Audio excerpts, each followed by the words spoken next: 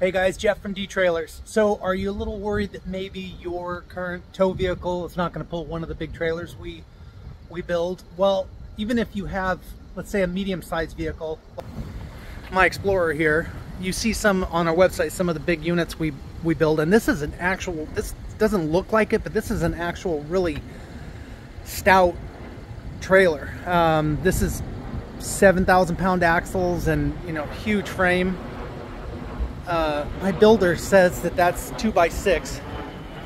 But that just doesn't look two by six to me, does it? Does it look at, I don't know. Anyway, my point is, um, you can do a lot of things with your tow vehicle to get it to pull one of our trailers. Most important is if you have something like an Explorer, electric brakes. Make sure you have electric brakes. That's probably the most important.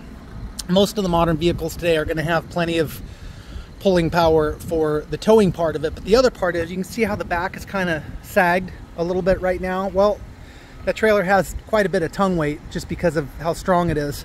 So you can always do airbags. Here, let's see what the preset is.